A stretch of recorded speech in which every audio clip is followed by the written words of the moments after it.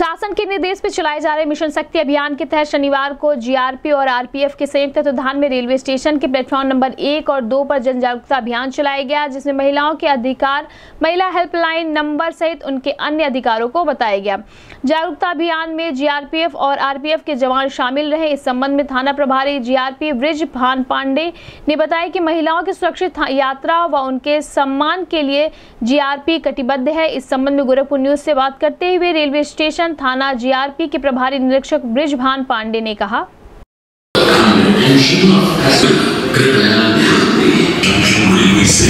यात्रियों का स्वागत या शून्य नाम शून्य।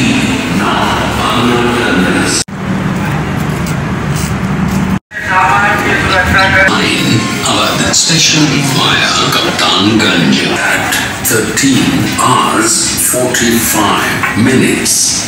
Scheduled to depart from platform number Yaganj coming from Bandra.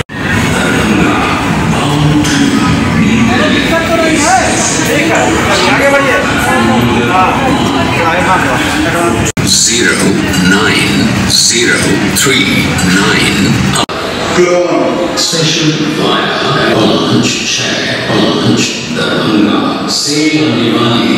legally, which these are very platforms. अब ये उत्तर प्रदेश सरकार ने माननीय मुख्यमंत्री जी ने सभी वरिष्ठ अधिकारियों को, हमारे डीआईजी साहब को, एसपी साहब को, सभी लोगों को आदेशित किया है कि नारी सुरक्षा के संबंध में पुलिस जन एक हेल्प डेस्क का निर्माण करेंगे, जिसमें नारी शक्ति के संबंध में सारी जानकारियाँ दी जाएँगी, जिसमें उनके सुरक्षा को लेकर कोई समस्या हो तो उनके हेल्पलाइन नंबर हैं। उन नंबरों से अवगत कराया जाएगा। और उनकी सुरक्षा के लिए सतत प्रयत्नशील रहेंगे। जैसे हमारे रेलवे स्टेशन पे आरपीएफ और जीआरपी दोनों ने मिल हर ट्रेन को आने में जो भी महिला यात्री हैं उनसे प्रयास किया जा रहा है कि कोई भी उनकी परेशानी हो उसको दूर करने के लिए उनसे वार्ता की जा रही है।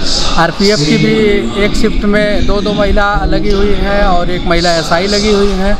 हमारे यहाँ महिला हेल्प डेस्क बनी हुई है।